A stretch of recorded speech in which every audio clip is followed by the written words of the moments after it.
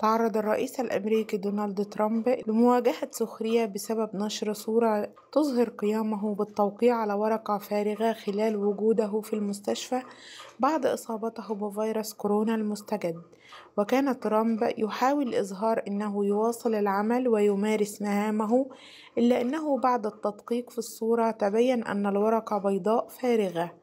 وبحسب صحيفة مترو البريطانية فقد شارك البيت الأبيض صورتين لترامب دون قناع وجه من داخل غرفتين مختلفتين قيل إنهما من مستشفى والتر ريد العسكري الوطني الذي يتلقى العلاج فيه. وشاركت إيفينكا إحدى هذه الصور عبر حسابها على موقع تويتر معلقة لا شيء يمكن أن يمنعه من العمل من أجل الشعب الأمريكي ولاقت الصورة سخرية كبيرة من مستخدمي مواقع التواصل الاجتماعي الذين قال بعضهم أن ترامب يقوم ببطولة مسلسل لتلفزيون الواقع.